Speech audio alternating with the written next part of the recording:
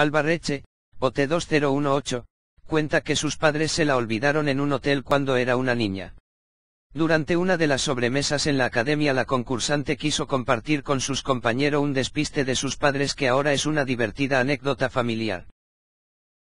Los pases de micro, las clases de canto con Mamen Márquez, las de interpretación con los Yavis, Javier Calvo y Javier Ambrosi, es mucho el material de que los fans de Operación Triunfo 2018 puede disfrutar a lo largo del día en el Cana 24 horas del programa.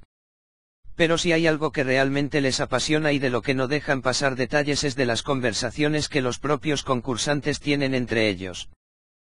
Como si de su casa se tratase, cuentan intimidades o dan a conocer su vida fuera de las paredes de la academia para que sus compañeros los conozcan un poco más. Y fue durante una de las sobremesas después de una comida que Albarreche compartió una anécdota con los allí presentes que, aunque ahora suene divertida, en su momento no lo fue tanto, de mí se olvidaron en un hotel, confesaba, tendría unos cinco o seis años, añadía haciendo que el resto se llevasen las manos a la cabeza. Todo ocurrió durante unas vacaciones familiares donde la aspirante a cantante y sus padres disfrutaban de la nieve junto a más miembros de la familia. Tal y como ella cuenta, siempre quería viajar con su prima mayor y sus tíos, quitando así la preocupación a sus padres.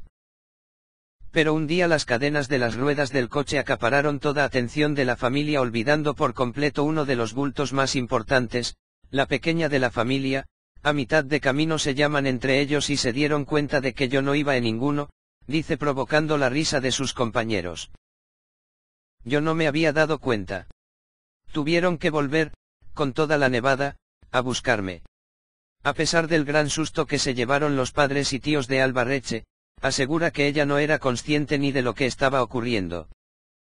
Cuando llegaron yo allí estaba, jugando, a mi bola. No me había dado cuenta, algo que también, asegura, fue mejor así, si me llegó a dar cuenta igual me daba un ataque. Contado con mucha gracia y simpatía, Feimas, Miki, Marta, Marilia, Julia e Isabela no pudieron contener la risa ante lo que acaban de escuchar. Todos se rieron menos una, María. La mayor de todos ellos mostró cierta angustia y quiso compartirlo con los demás, qué horror, es que me va a pasar eso un montón cuando tenga un hijo, asegura.